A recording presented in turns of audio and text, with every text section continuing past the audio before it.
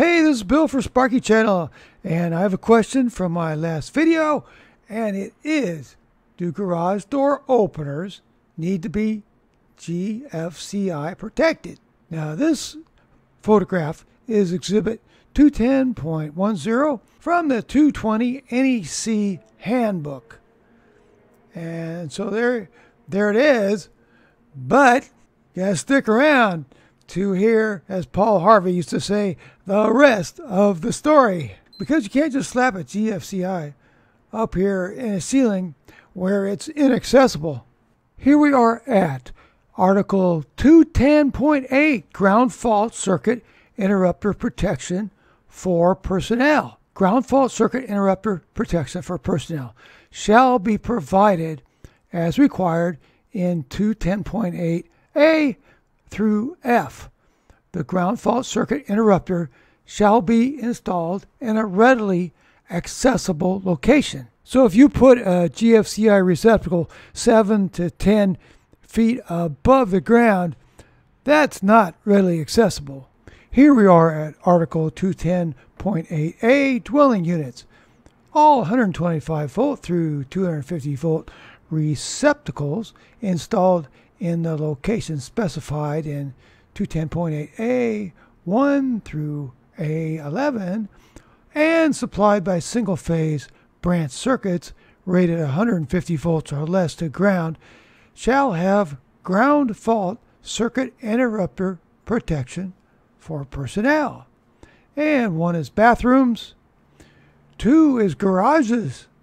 So that pertains to us here garages, and also accessory buildings that have a floor located at or below grade level, not intended as habitable rooms, and limited to storage areas, work areas, and areas of similar use. Also, there's a paragraph right below this drawing in the handbook that gives us some more information. Here is the paragraph, and we're talking about GFCIs in a garage and they say there are no exceptions.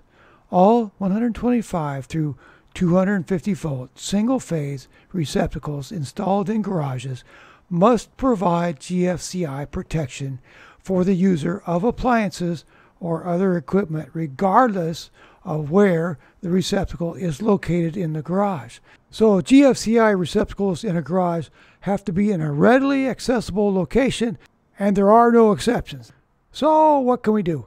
One thing we can do is use a GFCI breaker for the circuit that has the receptacle that powers the garage door opener. In that case, you would just use standard receptacles in your garage and mark them with the little stickers that come with the breakers. It says GFCI protected. And then the other way you can do it is to use a GFCI receptacle like this which is readily accessible. And then you would run your cable to this receptacle right here. And this would be a GFCI protected receptacle, not a GFCI receptacle, but a, a standard receptacle that is GFCI protected. And perhaps you'd run EMT up here like that. And then this GFCI receptacle would protect this receptacle. So that's how you do it. Either use a GFCI breaker or run a cable from an accessible GFCI to the garage door opener receptacle. To accomplish this, you would take the gold tape off of your GFCI and then you would hook your black and white wires of the cable going to the garage door opener receptacle to the load terminals of the GFCI.